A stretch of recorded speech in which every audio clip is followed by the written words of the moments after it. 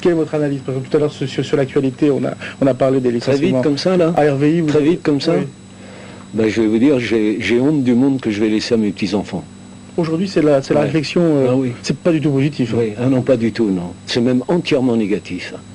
Je me rappelle euh, mes souvenirs d'enfance, euh, quand j'étais môme, la- mon instituteur, alors que bon, je suis un, je suis un gosse de la laïque, hein, j'étais un cul rouge, euh, qui servait quand même d'un dogme de l'Église pour nous dire il te faudra gagner ton pain la sueur de ton front. Mais il ajoutait toujours mais bientôt, un jour, le progrès viendra libérer l'homme de toutes les tâches euh, ingrates euh, et tout ça. Le progrès, il est arrivé pour les, virer, les hommes.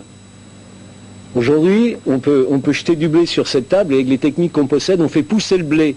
Il y a des gens qui ont faim dans ce pays alors qu'on jette du manger. Et je vais laisser ce monde-là à mes petits-enfants. Oui, j'ai honte. Dans un monde où on sait faire, qu'il y a encore des gens qui ont faim, je trouve ça dégueulasse. Dégueulasse. Et Qu'est-ce qu'on peut faire? Qu'est-ce qu'on peut faire? Mais c'est, j'ai eu des discussions. Une, une fois dans le train, euh, par, hasard, il, se trouve que j'ai discuté avec deux de- de personnes qui étaient des économistes. Et quand, quand je leur ai parlé donc, de, de cette espèce de, de spirale infernale de, du progrès qui, qui n'étant pas euh, partagé, nous amenait obligatoirement à débaucher malgré tous les termes et nouveaux termes de vocabulaire qu'ils emploient pour ne jamais dire qu'ils débauchent, euh, m'ont dit également à la fin, dit, mais, mais qu'est-ce qu'on peut faire Je dis, mais c'est ton boulot, pas le mien. C'est lui qui se prétend économiste, c'est lui qui prétend diriger la cité. Moi, je n'ai jamais demandé les suffrages de, de- de mes concitoyens. Il y a des gens qui prétendent pouvoir diriger la cité, alors qu'ils le fassent. Quand, euh, alors, quand vous dites pas ça, content, non Ah, pas du dit tout, on, on- on dit que vous êtes un révolté. Mais, mais merde, il y a de quoi être révolté, non Des gens ont faim dans, dans- dans un pays, dans un monde même où on sait tout faire. On réunit la plus formidable armada du monde en, en- en quelques semaines pour la guerre du Golfe. Euh, Huit, huit jours après, il y a une, une épidémie de choléra qui commence au Pérou. On n'arrive pas à trouver un B-52, le remplir de, de vaccins pour arrê- arrêter cette épidémie. Mais qu'est-ce que c'est que ce monde Hmm.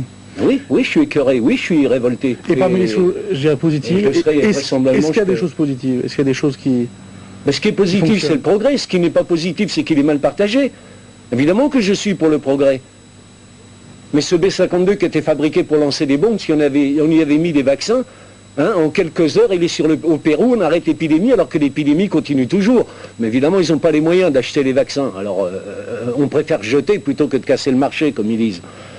Je, mais qu'ils sont-ils Ils, Ouais. ils se sont tellement mis au bord du trou, maintenant ce sont des structures. Est-ce que vous répondez Parce que j'imagine que vous aimez dialoguer avec ces gens-là. Vous voulez euh, faire avancer. C'est pas être révolté pour être Mais oui, révolté, mais à partir du moment où ils ne veulent pas toucher aux structures, Ouais. au sacré saint vaudou du pognon, parce que tout le problème, il est là. Il y a une, une équation qui disait le temps c'est de l'argent. Mais on a toujours euh, privilégié l'argent par rapport au temps. Alors qu'est-ce qu'il y a de plus important que le temps de vie? Pour un être humain, qu'est-ce qu'il y a de plus important que le temps de vie? L'oseille, c'est plus important. J'ai jamais vu un coffre-fort suivre un corbillard.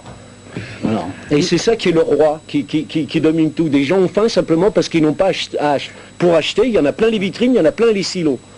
Est-ce que sur la scène, euh, vous, vous avez un dialogue avec les, euh, avec les spectateurs? Non, je, je suis pas. Non. euh, je veux dire, je ne suis ni un. je suis pas un prêcheur. Je- là, vous me posez une, une question à, à, Lenny Escudero. Je suis un citoyen comme les autres aussi. Bon, alors je, je dis, vous me demandez ce que je pense de ce monde. C'est un monde de merde. Voilà, Voilà. on pourrait tout faire. On a tout, absolument tout. Et des gens, enfin, je trouve ça absolument insupportable. Voilà. Lénie Scudero, donc ce soir à Saint-Genis-Laval, donc euh, voilà, on va la rappeler, salle d'emblée des bases au moins vous parlez euh, naturellement, hein, vous, vous pouvez exposer votre point de vue même sur TLM.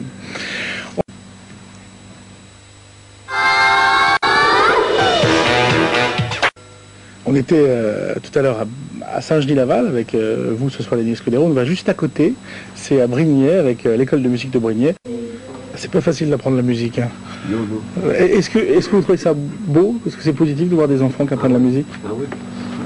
C'est merveilleux. Donc c'est- un peu, je dirais, à l'inverse que vous dites tout à l'heure, il y a quand même des choses qui, se- qui se passent, la vie quotidienne peut être belle. l'inverse. Vous m'avez pas parlé de, de vous donner tout le détail. Tout n'est pas, tout n'est pas entièrement négatif. Les enterrements marchent bien aussi. Hein non. non, non, évidemment, ça c'était, c'est merveilleux. Et puis de toute façon, les mômes, euh, bah, je suis toujours attendri par, euh, par les mômes. enfin bon. Michel Thierry, prenez le micro, tiens donc, c'est le maire de Brignais. Donc euh, quand est-ce que vous nous faites une école, l'école Attendez, j'ai envie de réagir en 10 secondes sur Léni tout à l'heure. Je partage tout à fait son point de vue. Lenny, je suis le maire d'une commune et conseiller général. Je veux dire, vous l'avez dit dans des mots très brutaux, mais vous avez tout à fait raison de nous ou d'interpeller tout le monde. J'ai un message d'espoir à vous donner. Il est dans la salle. Nous avons l'adjoint au maire de Saint-Genis-Laval, Jean-Luc Borel, et sa communication. Et Saint-Genis-Laval vous dira ce soir, vous l'entendrez. Vous entendrez Saint-Genis-Laval. Il vous dira qu'il y a un petit garçon qui s'appelle Guillaume, qui atteint la leucémie et que c'est toute la ville qui s'est remuée, qui s'est mobilisée pour lui. Ils vous en parleront, vous verrez. Pour revenir à l'école, oui, Régis a raison. Ils sont à l'étroit. Nous allons revenir provisoirement en milieu scolaire et puis après, après, pourquoi pas Ah bon, ça fait partie quand même des projets. Oui, oui, ça fait partie des projets. Pour que l'école soit, euh, soit chez elle. Tout à fait. Bon, vous êtes vice-président du conseil général. C'est un élu qui est en face de vous. Un élu local. hein, parce que les élus locaux sont les élus les plus importants. Je ne, je ne doutais pas de l'homme tout à l'heure. Tout à fait. Je parlais de certaines structures dont ils n'arrivent pas eux-mêmes à se débarrasser. Nous partageons ce point de vue. Ah, un discours un peu improvisé, c'est normal. hein. Tout peut arriver. Ah, C'est le titre de l'émission.